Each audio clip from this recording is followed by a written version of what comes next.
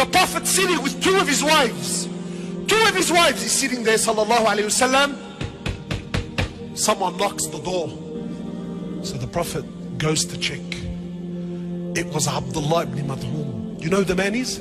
Sahabi, he was blind. You know Abasa wa Tawalla, the blind man that came to us. Abdullah, him! He was the muaddin of Rasulullah. He's knocking on the door. He's blind. The man's blind. So he gets up and he says, Abdullah. He says to his wives, Abdullah is on the door. Stand up, the both of you, and go behind the sutra, go behind the veil. So they said, the Prophet of Allah, Abdullah is blind, he can't see us. He said, Yes, but you're not blind, you can see him. So get up and go behind the veil.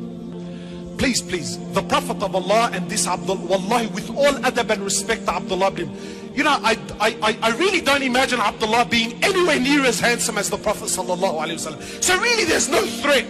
And when you're married to the Prophet of Allah, you're not going to look at anyone in any way. But what? Honor, bro.